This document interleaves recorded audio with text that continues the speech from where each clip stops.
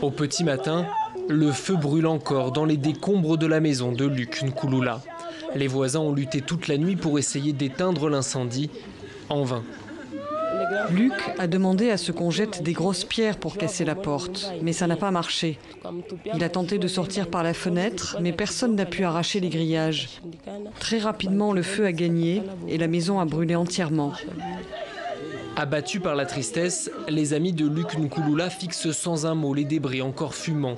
Luc était un des militants les plus emblématiques du mouvement citoyen La Lucha. À Goma, personne ne croit à l'accident.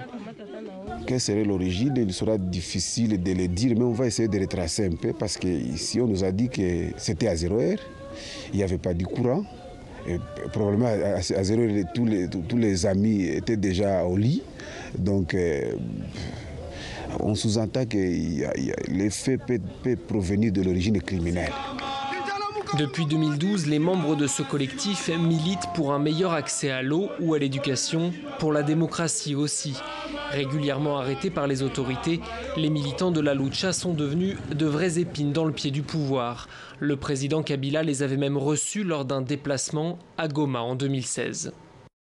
C'est que Luc a été doit nous servir de modèle pour suivre sa lutte pour qu'à tout prix, notre pays sorte de cette situation de non-État. Je suis convaincu que le message que Luc a laissé, a transmis au sein de la jeunesse de toute la RDC, cette semence-là pourra produire des effets et pourra inciter beaucoup plus d'autres à s'engager activement pour le changement dans notre pays. La Lucha a officiellement demandé aux autorités d'ouvrir une enquête pour tenter d'établir l'origine du sinistre.